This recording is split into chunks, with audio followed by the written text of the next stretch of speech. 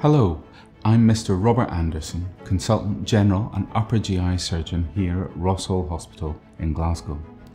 Today I'll be answering some of your most asked questions about having a cholecystectomy, also known as gallbladder removal surgery. If you're about to have this surgery, you'll want to feel informed and prepared beforehand.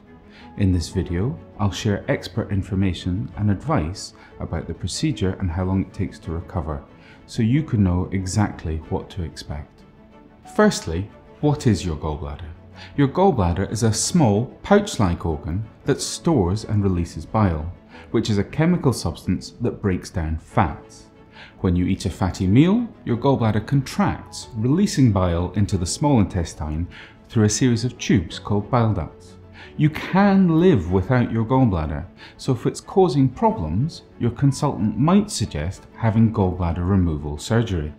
Why might you need gallbladder removal surgery?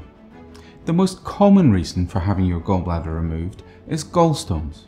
Gallstones are hard, fatty lumps, usually made of cholesterol and bile pigments, that form inside your gallbladder. They are usually painless, but if left untreated, they can sometimes lead to complications and more serious health issues.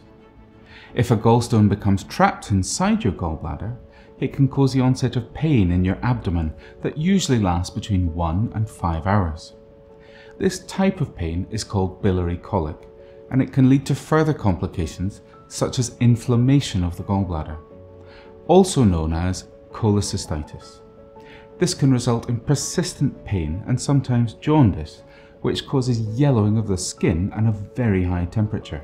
Breathing deeply can sometimes make the pain worse. Unlike some other types of abdominal pain, the pain of cholecystitis is usually constant and does not go away within a few hours.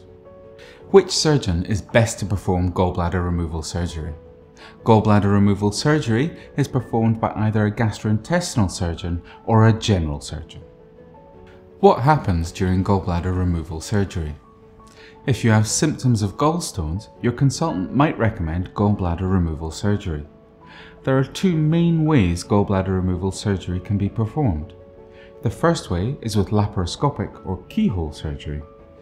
During this surgery, your consultant will make small cuts across your abdomen to access and remove your gallbladder. They will use a laparoscope, which is a thin tube with a camera and light attached to the end of it. It is connected to a monitor and display on a large screen so your consultant can see inside your abdomen in real time and perform the procedure with precision.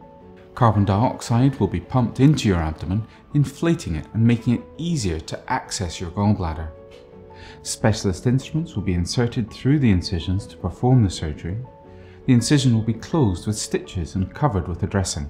Keyhole surgery tends to be carried out whenever possible because you can leave hospital sooner, recover faster, and are left with smaller scars. Alternatively, you can have open surgery, which involves a single, larger cut across your abdomen that your surgeon will enter directly to remove your gallbladder.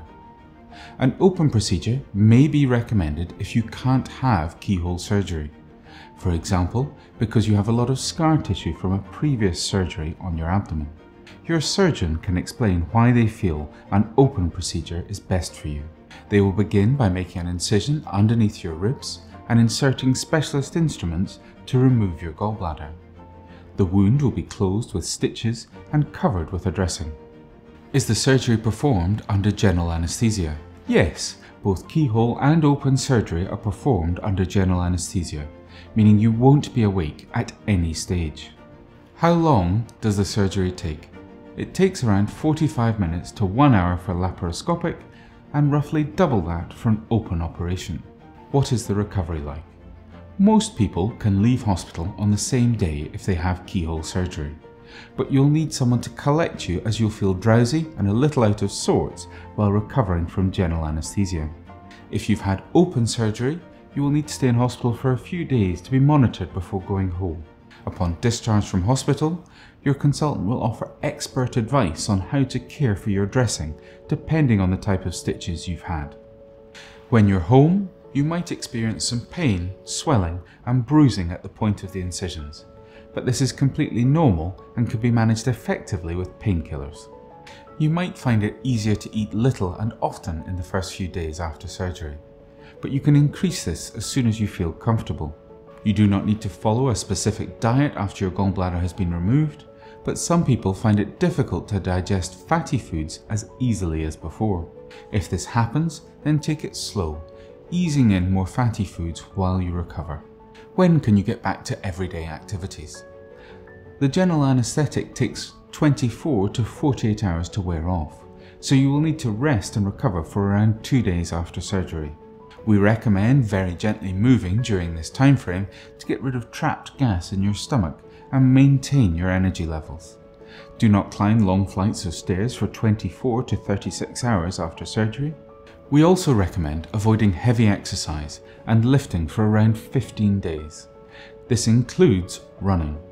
Light jogging is fine after one week if you feel able to do this, especially if you're a running enthusiast and feel itching to get back to it after surgery.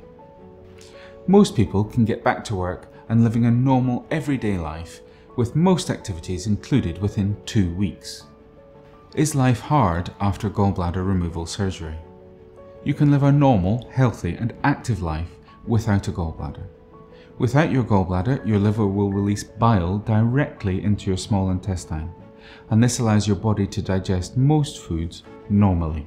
You may experience temporary side effects from surgery such as abdominal discomfort and difficulty digesting fatty foods but this will often dissipate as you recover. As I said, most people are fully back to their usual selves within two weeks of surgery. So there you have it, a run through of what it's like to have gallbladder removal surgery and why you might benefit from the procedure. If you'd like to discuss having gallbladder removal surgery in more detail, you can book an appointment with me or your nearest consultant at circlehealthgroup.co.uk. We hope you found this video useful and don't hesitate to leave any questions in the comments section below.